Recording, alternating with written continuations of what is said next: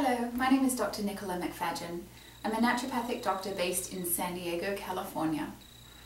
I'm here to talk today about my book, The Beginner's Guide to Lyme Disease, Diagnosis and Treatment Made Simple.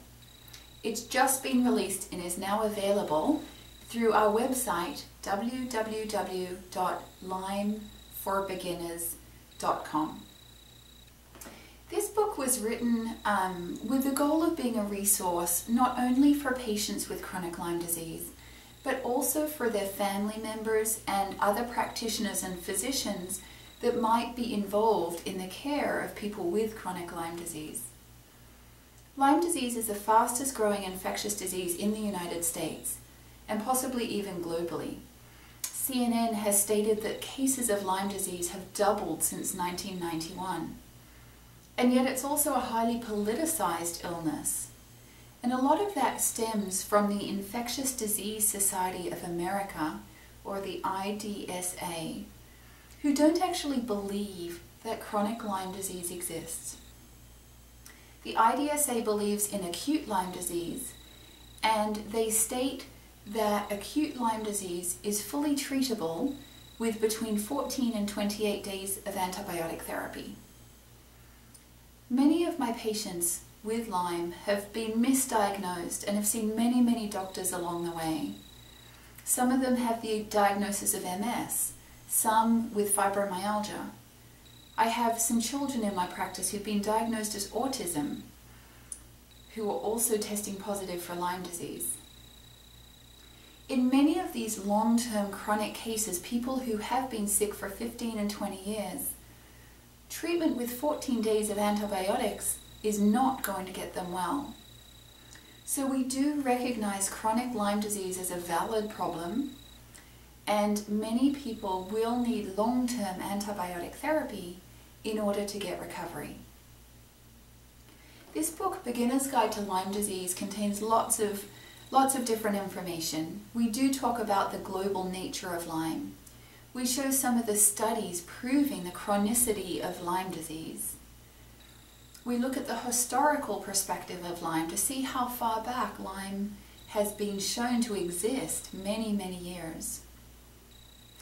The book also talks about the testing protocols for Lyme disease. One part of chronic Lyme that's difficult is getting an accurate diagnosis.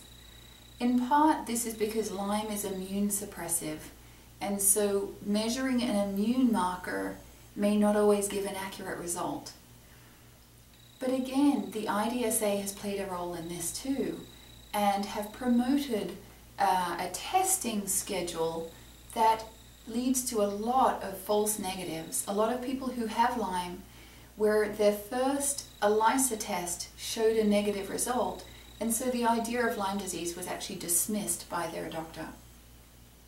So the book talks about how to get the most accurate diagnosis possible and the testing procedures not only for, for Lyme, for Borrelia, but also for the co-infections of Lyme. It goes through all the signs and symptoms, a host of different symptoms that may be attributable to Lyme disease, and also signs and symptoms that may give clues into the co-infections that might be present. The book outlines a lot of different treatment protocols also. It talks about long-term antibiotic therapy and a lot of chronic Lyme patients will need long-term antibiotics. So we talk about how to prescribe different ones, which antibiotics are best for which co-infections, um, how to layer antibiotics and combine antibiotics to address the three forms of the life cycle in, in Lyme disease, in Borrelia.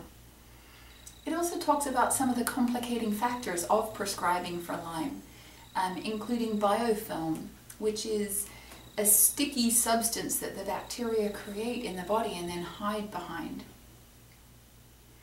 I outline a lot of naturopathic therapies because I do see a large role for naturopathic medicine in chronic Lyme treatment. Not only can herbs be used as antimicrobials and other substances can be used as antimicrobials, but natural medicine can be used to offset side effects of antibiotics. It can also be used to balance the body in other areas that tend to get out of balance in a chronic Lyme patient. Examples being adrenal support, thyroid support, other hormones. We can bolster immune function using natural mechanisms. Um, so there's a huge role to play for natural medicine in chronic Lyme. Heavy metal toxicity is something that comes up in many of my patients.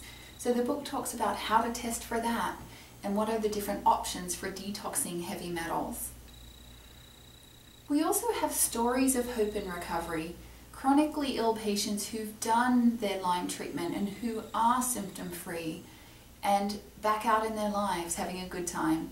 Their stories will, um, will describe what they did with their treatment plan, the role of natural medicine and nutrition for them, and things that they thought were most helpful, things they thought were least helpful, things they might have done differently if they had their time over again. I do outline nutritional concepts in this book. I had written a book called The Lyme Diet, Nutritional Strategies for Healing from Lyme Disease, um, and that's been a very popular book to help guide people in their nutritional choices. This book gives a synopsis of that. It gives enough information um, to help guide people on how to eat to optimize their health and, and aid their recovery in chronic Lyme disease. The book also outlines some emotional tools and coping strategies. Lyme is a very challenging illness. Um, the psycho-emotional impacts are tremendous.